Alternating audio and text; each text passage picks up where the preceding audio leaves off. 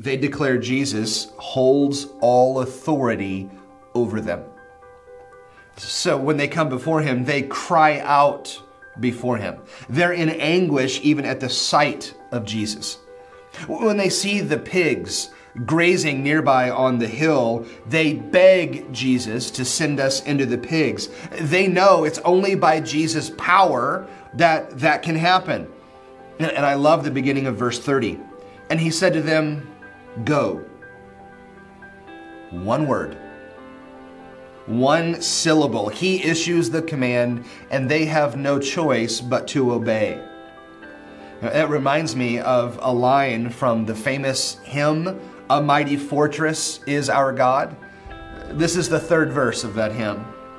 And though this world with devils filled should threaten to undo us, we will not fear, for God hath willed his truth to triumph through us the prince of darkness grim, we tremble not for him. His rage we can endure, for lo, his doom is sure. One little word shall fell him.